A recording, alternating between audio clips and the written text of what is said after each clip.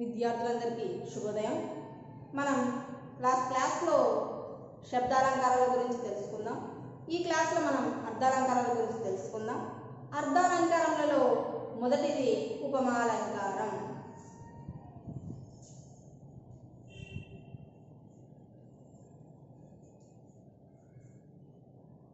అలంకారంలో మొదటిది ఉపమాలంకారం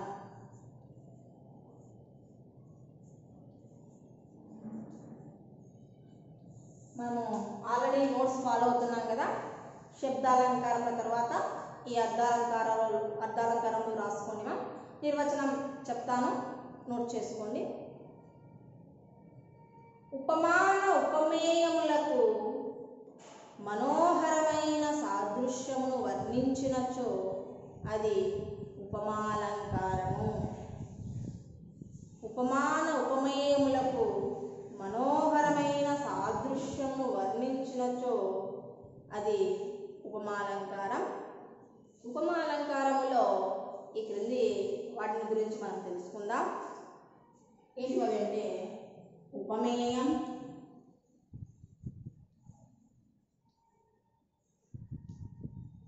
ఉపమానం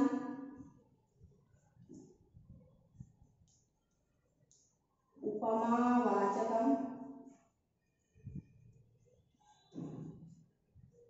సమాన ధర్మం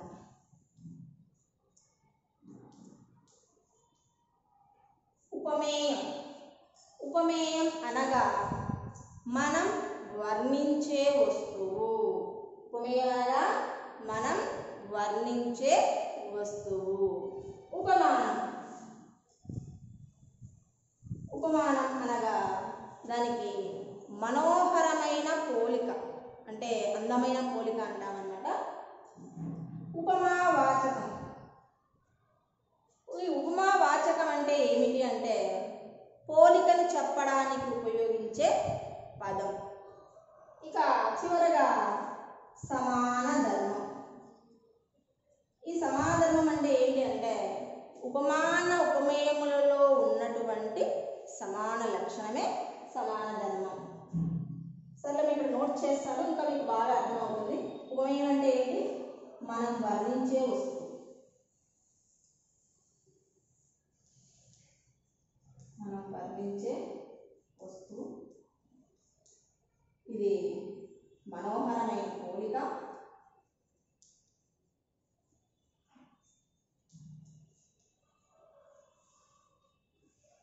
పోలికను చెప్పడానికి ఉపయోగించే పదం పోలికను చెప్పడానికి ఉపయోగించే పదం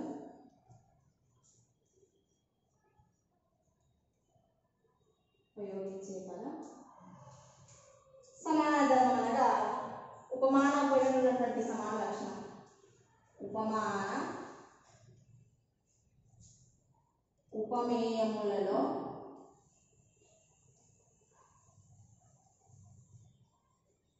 ఉన్న సమాన లక్షణం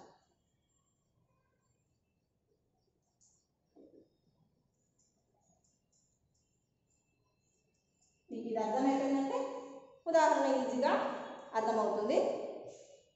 ఉపమేయం అంటే మనం వర్ణించే వస్తువు ఉపమానం అంటే మనోహరమైన పోలిక ఉపమావాచకం అంటే పోలికను చెప్పడానికి ఉపయోగించే పదం. ఈ పోలికను చెప్పడానికి ఉపయోగించే పదాలు లాగా వలే పోలే లాంటి పదాలు ఉపయోగిస్తా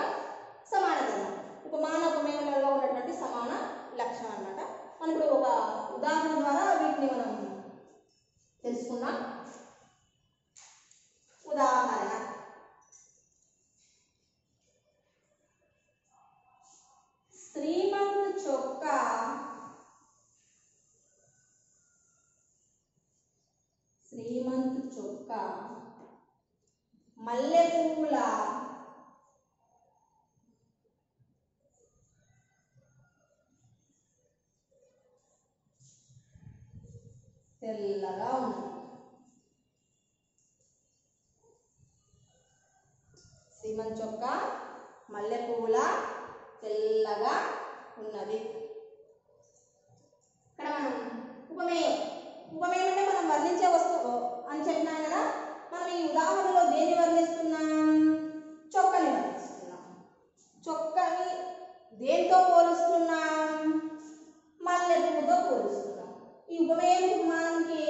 పోలికను చెప్పడానికి ఏ పదాన్ని ఉపయోగించాం మనం ఇక్కడ? లా. సమాన తెల్లగా ఉంది. మనం వర్ణించే వస్తువు. కాబట్టి ఇక్కడ మనం చొక్కాని వర్ణించాం. చొక్కాని దేంతో పోల్చాం? మల్లెపూతో పోల్చాం. ఈ రెండింటికి మనం ఉపయోగించిన పదం కూడా సమాన ధర్మం తెల్లగా ఉన్నది ఉపమాన ఉపయోగమైనటువంటి సమాన లక్షణమే సమాన ధర్మం. నెక్స్ట్ ఇంకొక ఉదాహరణ ఇస్తాను ఇది. ఆ ఉదాహరణకి మీరు ఉపమాన ఉపమేయాన్ని తెలుసుకోండి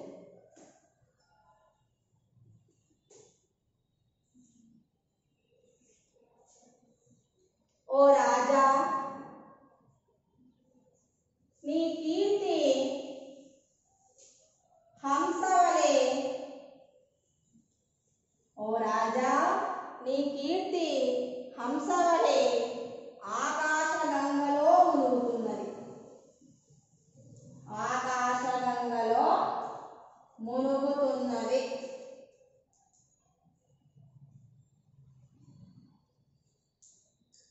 దీనికి ఉపమేయము ఉపమానము ఉపమావాచకము సమాన ధర్మం తెలుసుకోండి నెక్స్ట్ మనం మరొక అలంకారాల గురించి తెలుసుకుందాం అది ఉత్ప్రేక్షాలంకారం రెండవ అలంకారం ఏంటిదమ్మా మీకు మనం చెప్పుకునేదే ఉత్ప్రేక్షాలంకారం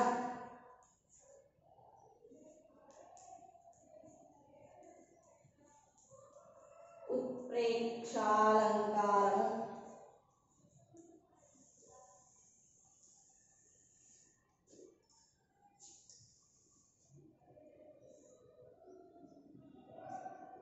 ధర్మ సామ్యమును బట్టి ఉపమేయమును ఉపమానంగా ఊహించడం ప్రేక్షాలంకారం ధర్మ సామ్యమును బట్టి ఉపమేయమును ఉపమానంగా ఊహించడం ఉత్ప్రేక్షాలంకారం. దీనికి సంబంధించిన ఉదాహరణ చూద్దాం.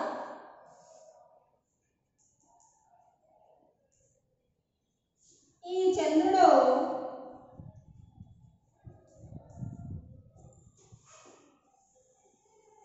అద్దం బిల్లయో అన్నట్లున్నాడు అద్దం బిల్లయో అన్నట్లున్నాడు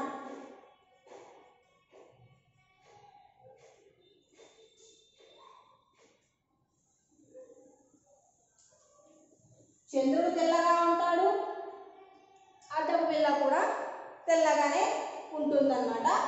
ఇక్కడ మనము ఏం చెప్పినాము? నిర్వచనంలో ధర్మ సామ్యమును బట్టి ఉపమేయమును ఉపమానంగా ఊహించడం ఉత్ప్రేక్షాలంకారం ఇక్కడ ఉపమేయం ఏంటిది చంద్రుడు ఉపమానం అద్దపు బిల్ల నెక్స్ట్ రెండవ ఉదాహరణ ఆ ఏనుగు ఆ ఏనుగు నడగొండ అన్నట్లుంది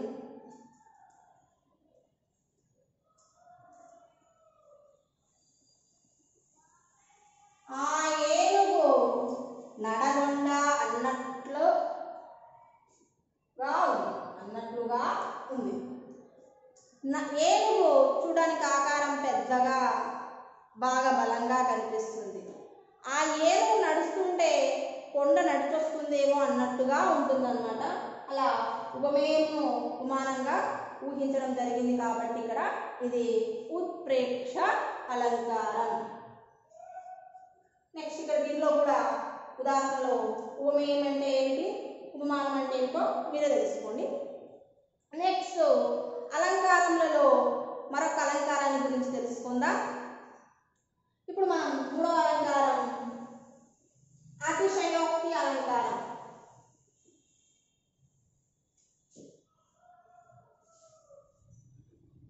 మూడవ అతిశయోక్తి అలంకారం.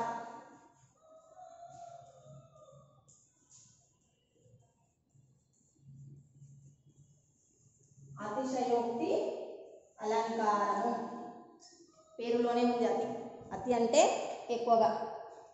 ఒక వస్తువును ఉన్నదానికంటే అధికముగా వర్ణించినచో అది అతిశయోక్తి అలంకారం ఒక వస్తువును ఉన్నదానికంటే అధికముగా వర్ణించినచో అది అతిశయోక్తి అలంకారం ఇలా కూడా చెప్పొచ్చు మన అతిశయోక్తి అలంకారాన్ని గోరంతను కొండంతలుగా వర్ణించిన గోరంతను కొండంతలుగా చెప్పడం అతిశయోక్తి అలంకారం గోరంత అంటే చిన్నగా ఈ చిన్న విషయాన్ని ఎక్కువ చేసి చెప్పే చెప్పడం అతిశయోక్తి అలంకారానికి సంబంధించింది. ఈ అతిశయోక్తి అలంకారానికి సంబంధించినటువంటి ఉదాహరణ మనం ఇప్పుడు చూద్దాం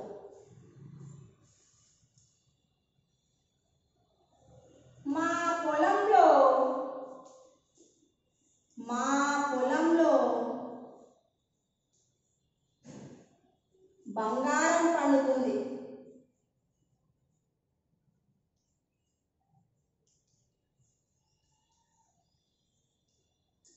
బంగారం అన్నది మెటీరియల్. సహజంగా బంగారం అన్నది నాన్ లివింగ్ థింగ్ సైన్స్ పరంగా మనం చెప్పుకోవాలంటే బంగారం లాంటి పంట పండుతుంది కానీ బంగారం పండదు కాబట్టి ఇక్కడ మా పొలంలో బంగారం పండుతుందని అతిగా చెప్పడం వల్ల ఇది అతిశయోక్తి అలంకారం రెండు ఆ నగరంలోని మేడలు ఆ నగరంలోని మేడలు ఆకాశాన్ని తాకుతున్నాయి ఆకాశాన్ని తాకుతున్నాయి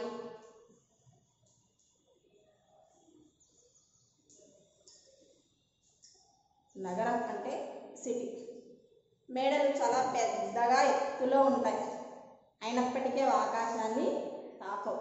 కానీ ఎత్తుగా ఉండడం వల్ల ఆ మేడలు ఆకాశాన్ని తాకుతున్నాయని చెప్పేసి అతిగా అంటే ఎక్కువగా చెప్తున్నారు. ఇలా చెప్పడం వలన ఇది ఏ అలంకారం?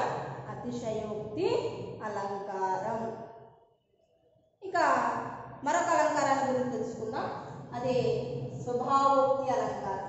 దీనికి కొంచెం ఆపోజిట్ అని చెప్పచ్చు ఇవాళ అలం- అతిశయోక్తి అలంకారం స్వభావోక్తి అలంకారం ఏంటి మనం అలంకారం చెప్తున్నప్పుడు చెప్తాం దాంట్లో తేడా ఏంటో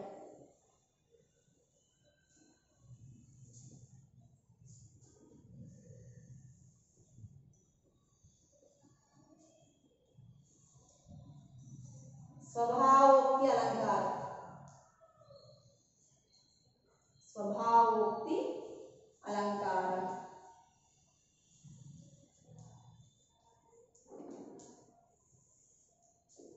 స్వభావోక్తి అలంకారం జాతి గుణ క్రియాదుల చేత దాని స్వభావాన్ని వర్ణించిన ఎడల అది స్వభావోక్తి అలంకారము. జాతి గుణ క్రియాదుల చేత దాని స్వభావాన్ని వర్ణించిన ఎడల అది స్వభావోక్తి అలంకారము. అంటే ఈ స్వభావోక్తి అలంకారంలో మనది ఉన్నది ఉన్నట్లుగా చెప్తామన్నమాట. ఇది ఇంతకుముందు చెప్పుకున్నటువంటి అతిశయోక్తి అలంకారంలో చిన్న విషయాన్ని ఏంటి ఎక్కువ చెప్తాం. కాబట్టి దీనికి దానికి మనం ఆపోజిట్ అని చెప్పినామన్నమాట. మనం కూడా చదువుకోవడానికి ఈజీగా గుర్తుపెట్టుకోవడానికి ఉపయోగపడుతుంది. దీనికి సంబంధించినటువంటి ఉదాహరణ చూసినట్లయితే ఆ ఉద్యానవనమునందరి లేదు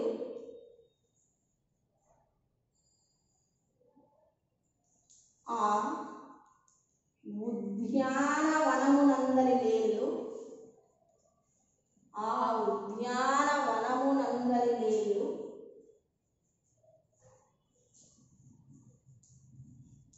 చెవులు రింకించి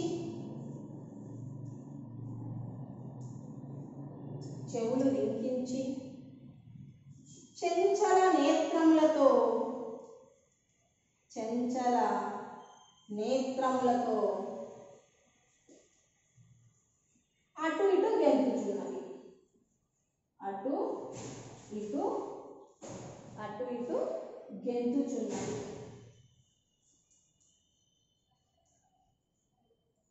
ఆ ఉద్యానవనము నందరి లేళ్ళు అంటే ఒక వనంలో ఉన్నటువంటి లేళ్ళు లేళ్ళు అంటే జింక. చెవులు రింకించి అంటే ఈ చెవులంతా మనకి ఇవి వెనక్కి ఇట్లా పెట్టేసింటాయి అనమాట అలా చెవులు రిం- రింకించి చెంచల నేత్రములతో అంటే వాటి యొక్క కనుగుడ్లని అటు ఇటు తిప్పుతూ అవి అటు ఇటు ఉంటాయన్నమాట. నెక్స్ట్ మరి ఒక ఉదాహరణ.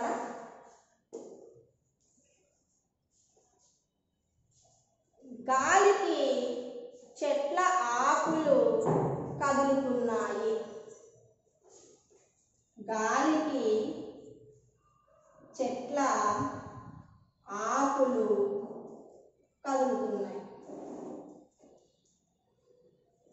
మనకి గాలి వీచినప్పుడు చెప్పి ఇట్లా ఊగుతూ ఊగుతూ ఉంటాయి కదా వాటిని కదలడం అని ఈరోజు మనం అర్ధాలంకారాల్లో నాలుగు అలంకారాల గురించి తెలుసుకున్నాం. ఈ అలంకారాన్ని మీరు నోట్ చేసుకోమని చెప్పాను. ఈ వీటిని ఒకసారి మీ హోంవర్క్లో రాసుకోండి మా నెక్స్ట్ క్లాస్లో మిగతా అలంకారాలు ఏవైతే ఉన్నాయో వాటిని గురించి తెలుసుకుందాం. ధన్యవాదాలు